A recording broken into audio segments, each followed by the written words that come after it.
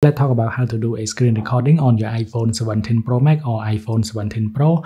Um, to do it, um, it is very easy. All you have to do is just pull down the control center on the top right, uh, just like that. And then if you try to find screen recording, there is no it. So you need to hold on the empty space and then click on add a control.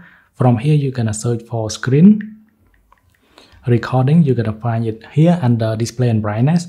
Click on it and then you will have um, the record button so you can just hold on it. Uh, there are two options so if you want to record uh, a screen with a microphone turn on you need to click on this one to turn on and then click on start recording. So it will record an audio and the screen on your iphone at the same time but if you don't want a microphone just go ahead and disable it just like that and then just go ahead and start recording.